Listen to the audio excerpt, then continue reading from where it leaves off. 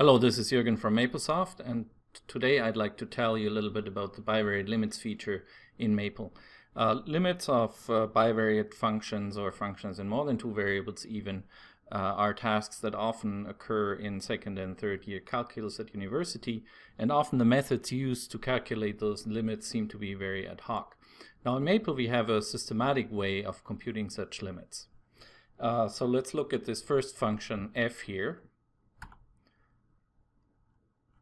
just hit the enter key to uh, evaluate it. And then we compute the limit of it at the origin.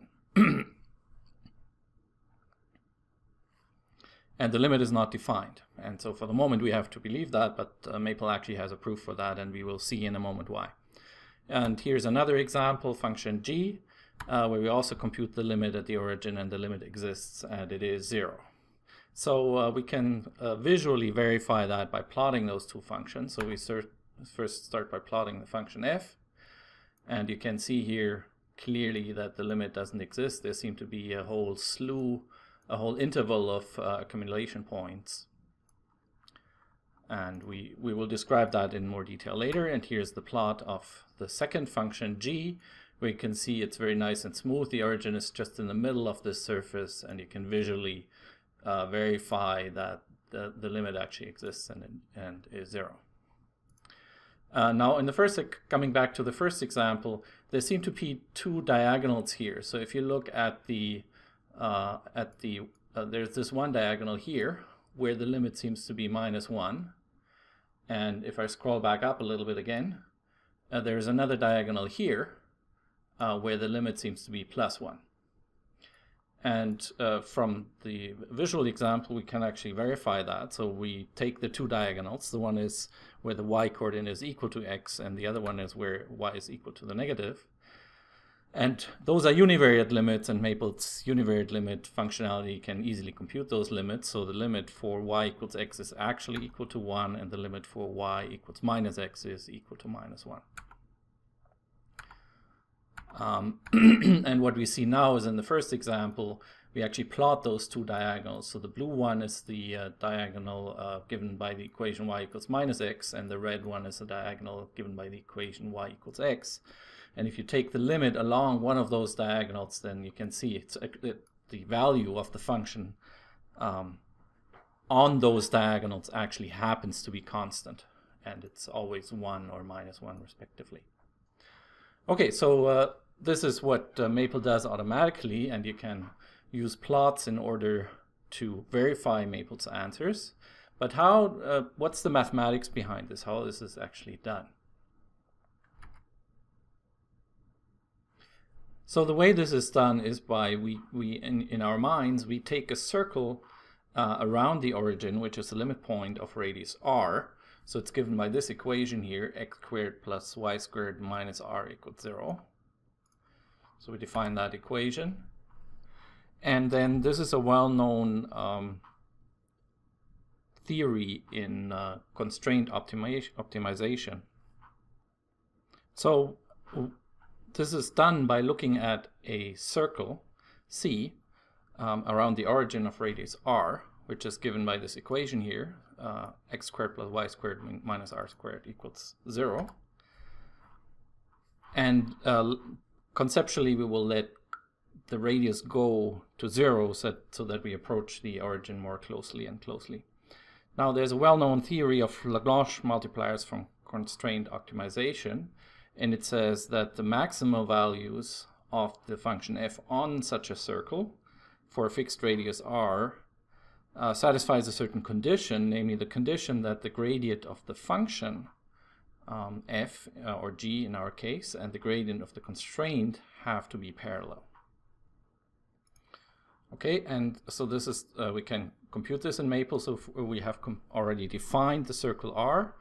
Uh, we take the gradient of our function f, that's given by, uh, by this vector here, and we take the gradient of the constraint, uh, given by this vector, and then if we want those to be parallel, then the determinant given by those two vectors has to vanish. So that gives us an equation, which we see here.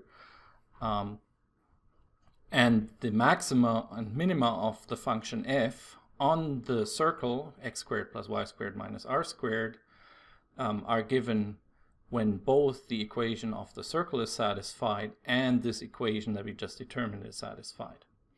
Um, now this equation gives, we can solve that for one of the variables x or y respectively. And it is sufficient to consider um, limits, which are now univariate limits, that follow the paths that are given by the solutions to those equations. We also call those paths the critical paths.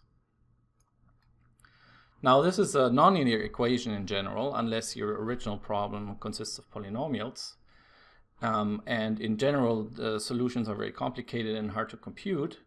But since all we need, uh, we want to uh, determine the local behavior of uh, our function f, uh, uh, what we do is we compute a Taylor expansion of this function.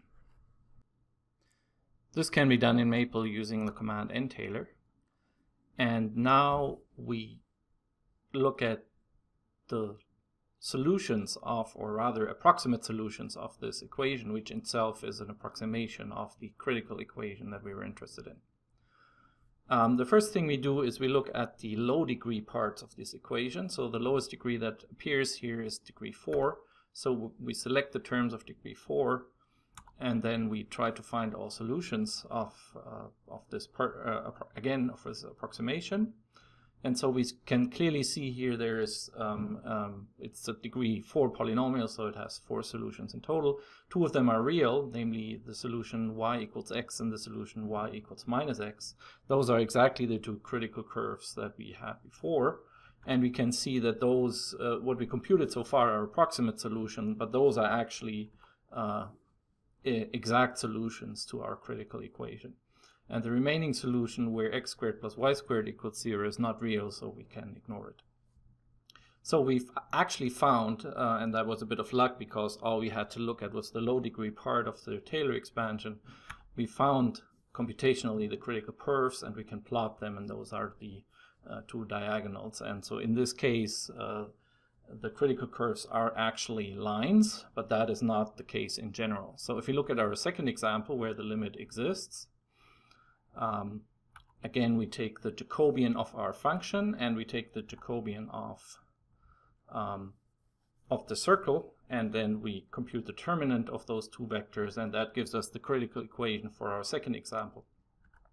And we can plot this equation in order to see all the critical curves and you can see here that there are two critical curves which we can also directly see from the equation, namely x equals 0 and y equals 0. So those are lines but there's another critical curve, which is not a line, which is given by the third factor in that equation. And so now we, uh, we create a vector that has all the critical curves in it. So the two lines x equals 0, y equals 0. And the last one, which is also linear in y, so it can be easily solved for y, uh, which is a nonlinear, gives you nonlinear curves. And now we compute the limits along those critical curves. So for x uh, equals 0, the limit is the function just simplifies to y and the limit is 0. For the second one, which is y equals 0, the function simplifies to this, and we take the limit for x goes to 0, and it's also 0. And the third one is the nonlinear curve, which also gives us a univariate function, but again, the limit is 0. So we have now found all the critical curves, all, all the solutions of the critical equation, so those are the critical curves, and we have computed the univariate limits along all those critical curves and they're all identical. And so this is a proof that the limit is actually exists and is equal to the value the common value of all those critical curves. And now the last thing is we can create a plot that has both the function and all the critical curves embedded into it. And we can again clearly see that the limits along all those critical curves are indeed um, zero so this is how Maple computes those bivariate limits. And in general, uh, just as a closing remark, the critical equation does not necessarily factor into linear factors as we just had in our last examples, but then instead of using the linear factors, we can compute series approximations to all the critical paths and use those. Um, and we only need approximation up to a certain order in order to determine what the limits are. Thanks very much for listening.